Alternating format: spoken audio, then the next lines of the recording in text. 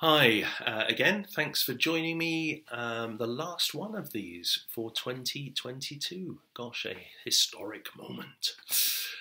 3 John and verse uh, 10. Yesterday we were introduced to Diotrephes, and uh, there's some clearly some criticism going on, some unwelcome attitude going on that John is highlighting in, uh, in that verse. But we get a lot more detail in today's verse, verse 10.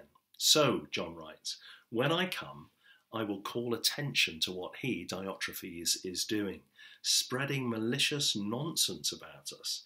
Not satisfied with that, he even refuses to welcome other believers. He also stops those who want to do so and puts them out of the church. Now, we've been thinking this week a little bit about welcome and hospitality and joining together working together for the truth. But Diotrephes now appears to be somebody who's really very hostile to, to other people coming close, hostile to John and uh, offensive, perhaps, spreading malicious nonsense about him, but hostile too to those who are those believers who, who want to worship with him, hostile even to those members of his own church who want to be more welcoming to other believers. Have you ever experienced, as so many have, that awful time of uh, going into visiting a new church or a different church and just reaching for a chair or a seat, and somebody says, Oh, I'm sorry, that seat's taken, you can't sit here. I heard about somebody the other day who, three occasions, in the same visit that happened. Three times they were told, I'm sorry, you can't sit there. How welcoming is that? Even when our, our spouse or our, our friend, uh, somebody that we, we really want to be beside us, is coming, then is it really necessary for us to stop a visitor from sitting in a particular place? Or isn't there a more friendly way that we can encourage them and bless them and greet them warmly uh, as a brother or a sister?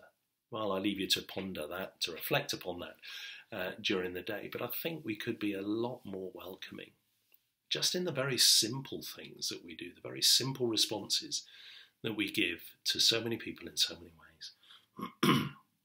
However, importantly, what John is getting at here, I think, is rather more serious than that. Uh, if we are in disagreement with somebody, if we are uh, in disharmony with them, we, there is no room for us to spread malicious nonsense. We cannot do that. As Christians, we're called to love one another. As Christians, we're called to love our enemies. And I think we need to be particularly careful in this day and age when there is so much venom, so much hatred that is uh, spread around. We need to be particularly careful to be loving towards one another and not to be offensive and not to seek to hurt or to damage or to run down the other.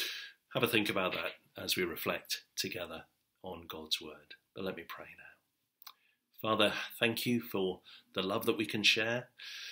Forgive us for the times when we don't. Help us, we pray, to be more effective and to be more loving for your glory. Amen.